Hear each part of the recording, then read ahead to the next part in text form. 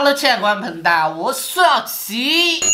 我最近发现我的粉丝小伙伴对陀螺有特别的执念，经常会在我各个视频下面留言说的想看陀螺。我今天花了三百块钱买了市面上五种不同的陀螺，给大家一次看个够，看看你都见过哪一种。嘿，第一种就是这种陀螺玩具枪，我们之前视频里出现过，可以连发六个陀螺，给大家演示一下。首先是先把每个陀螺装到固定的卡槽，下面有个扳手，往后猛一拉，第一个陀螺就会剧烈的转动。然后一抠就出去了，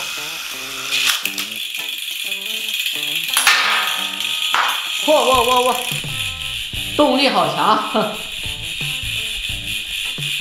能转好久。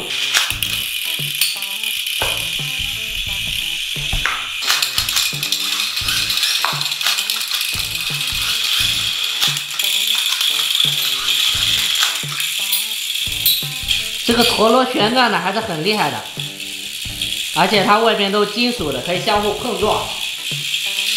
哎嘿嘿，这一种陀螺就是连发性特别好，可以连发六个，而且它的动能非常强。但是有一个缺陷，就是它需要一块很大的场地。就打比方说，我在这个桌子上，它不容易停得住，一发射就把它这个陀螺发射的很远。这是第一种。第二种，像摩托车一样的陀螺，打开。这个陀螺就简单一点，像个摩托车造型一样，然后前面一个轮子就带这一个陀螺，然后这边有一个拉手，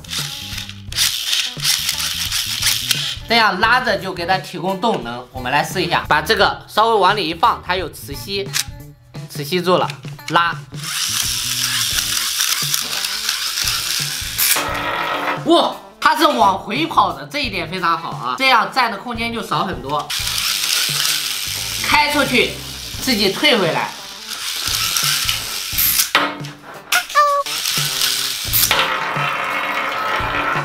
哇！回来，回来，回来，回来，回来！哎，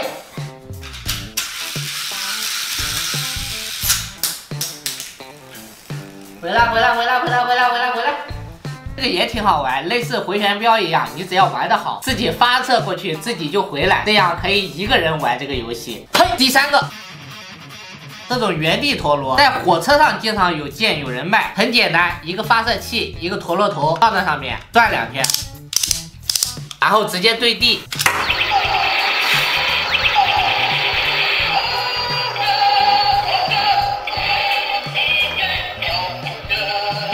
这种是我们小时候最常见，而且是比较原始的一种陀螺了。它的优点就是占地比较小，直接发射在桌子上，它就在桌子这一块转，不怎么往旁边跑。当然它也有缺点，就是这种把手老容易坏的，转的圈数不能太多，太多的话它那个上弦的东西就容易崩掉。总的来说这个还可以。嘿，第四个，相信这个陀螺大家应该基本上都没有见过，好精致的一个包，打开。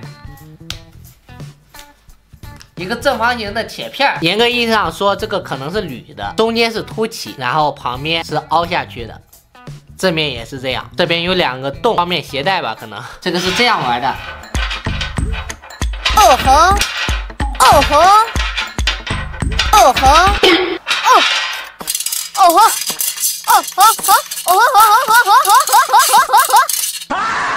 我看卖家的视频是，他往前一推，这个陀螺就一直往前往前走，走好多好多圈。但是在我的桌子上，就走两圈就熄火了。难道是材质的问题？放在板凳上试试。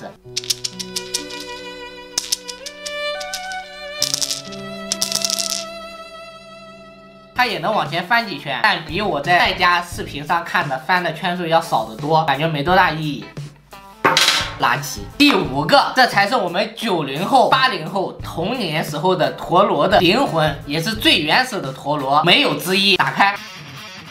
木陀螺，看到这个，再加上这个边，好多人应该有回忆了吧？我们小时候把这个叫做半拉子，用边越抽，它转的越厉害。它的这个原理也非常简单，就是一个木头，然后下面锥了一个钢珠，用边的动能把它带动。现在的做工要好很多，它在外面都涂了一层蜡，好像再加上一个橡胶的，增加摩擦力的。到底是花钱买的，比现实中自己做的要好很多。我们小时候就直接把轮胎的那种皮丝抽出来。做这个边，走起。首先是把这个边缠到陀螺上，这样用手指头压着转几圈，这样发射。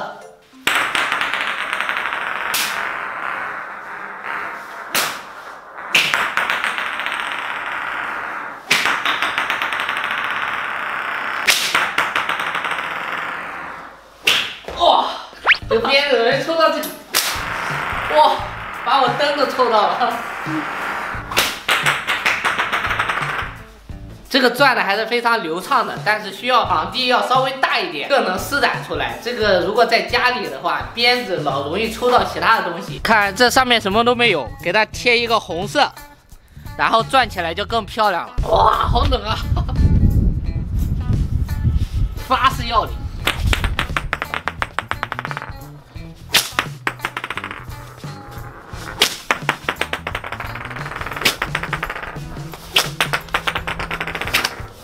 来看红色，这样上面就有点不同了，像阿尔卑斯棒棒糖，也像一个八卦阵，八卦。这是陀螺一号，这是陀螺二号，陀螺三号，陀螺四号，陀螺五号。这五个陀螺你更喜欢哪一个呢？可以在评论或者弹幕中留言。想看下期少奇播什么，也可以在评论中留言。我们下期再见，拜拜。